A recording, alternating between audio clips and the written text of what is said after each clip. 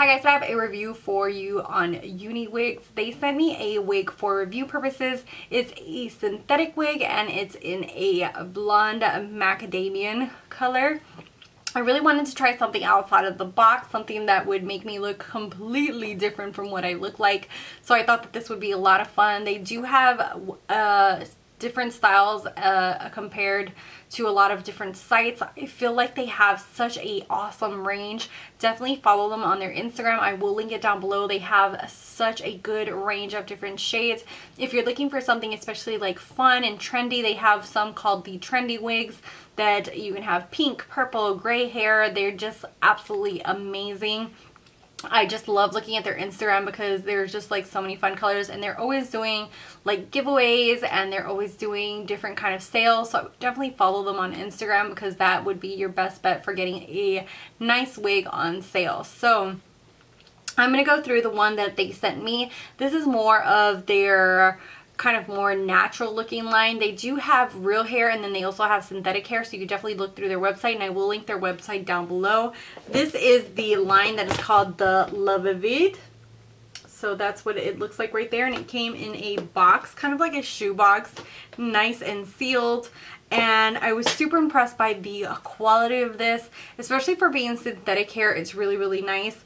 And they also sent me a brush. So I don't know if each wig comes with a brush but I would definitely recommend getting one of these just because it really helped as far as styling and being able to brush it. I do feel like you need one of these wig brushes and of course you need one of these little wig caps as well. So you can wash and condition these and also you know different styles and that kind of stuff. As far as the synthetic one it does recommend that you do not use heat products such as curling irons and hot rollers and things like that just to avoid because it is synthetic hair you know, avoid any kind of mishaps with the wig itself. Oh, so I am going to list the wig that I got down below. It's called Carrie and it's in the shade Macadamia. So it is a blonde and this is what it looks like right here. I'm going to go ahead and show you guys what it looks like.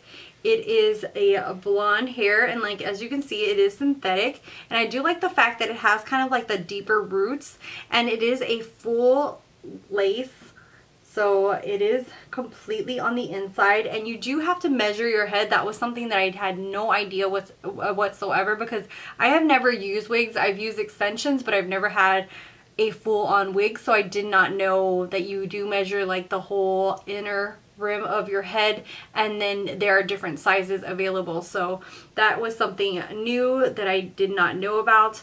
And yeah so this is really cool. It does feel really sturdy and it's nicely made. Everything in there is really really put together really nicely. As you can see the whole lace on the inside and it's super super comfortable as well when I was wearing it so I had no issues whatsoever there. The the wig itself came parted kind of like to the side but I am someone who kind of um, does not wear my hair that way so I just felt like the bangs just did not flow well around my face so I did go ahead and style it a little bit differently than they have it online just because you know each person has a different kind of frame of their face and things like that so everything's not going to work the same for everyone. So I'm going to go ahead and show you guys the way I put this on and the way I like styling it. So you need a little wig cap like this and what they recommend is for you to open it like this and then bring it on your head. And this is going to look a little crazy for a, for a minute there. And then what I like to do is just push it all the way to like my forehead and then bring it up. And then I'm just going to go ahead and tuck my hair around. So I do tuck my hair all the way around and then tuck this one around this way. So I'm just literally just pushing it into the netting itself so that way it's nice and tucked underneath and that way none of your real hair is like peeking through especially if you have long hair Right now I just chopped off a lot of my hair so I don't have that kind of issue.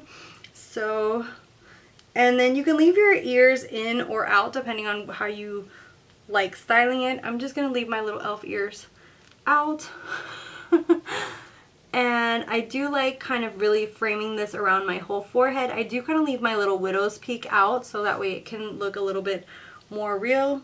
and then I extend this out and then just bring it down. So there I have it. And I'm just to go ahead and take the brush and brush through it right here. And it's nice and brushed. And then I really like kind of just bringing it forward here like that. You're to have to excuse me for a little while. I'm to look a little crazy. But you do want to bring it down to the nape of your neck and then kind of fix it around your face. And then if you wanted to, you could pull out hair, like your own natural hair, especially if it has like the dark roots like this one does. It does look better if you have like the um, your natural hair kind of like peeking out from underneath. So that would just be a preference. As you can see there, I can just go ahead and accommodate it. And I do have a picture with this on on my Instagram. And that's what it looks like just on its own. As you can see there, it's not really kind of like my style. So one of the things that I really liked was being able to bring it back. So I just kind of took it or took the bangs, just a chunk of them, and just to kind of make it look a little bit more natural, I clipped it in and then just kind of like brought it up. And let me go ahead and fix this. So, and then there are little clips that you can buy or put in just to kind of like help it stay in place especially around the sides and then just kind of accommodate it around your forehead and there so let me know what you guys think I know I have really really dark black natural eyebrows but I really like the way this kind of looked especially with the dark roots. I feel like it kind of looks okay with my dark eyebrows. Let me know what you guys think. But I thought that this was a lot of fun. My husband was like, thank God that that's a wig. I would freak out if you like dyed your hair blonde. But let me know what you guys think. I really absolutely love this. I think that this is so much fun just to go out and do something different. I feel like if you want to just play around with different colors, especially they have so many trendy fun wigs. They're like pink and purple and gray. And a lot of times like if you're in a professional line of work they won't allow you to wear fun colors like that which is such a shame because to me that has nothing to do with professionalism. So I would love to do pink and purple and things like that but I work at a hospital and they don't consider that to look professional so it's not something that I'm able to do so I love love love the fact that they have these wigs and you can do something so much fun. So this is what it looks like all the way. It's almost like, uh, almost, I would say mid-length hair. And I think it's so much fun and you could do all kinds of little hairdos and put different clips in it and things like that.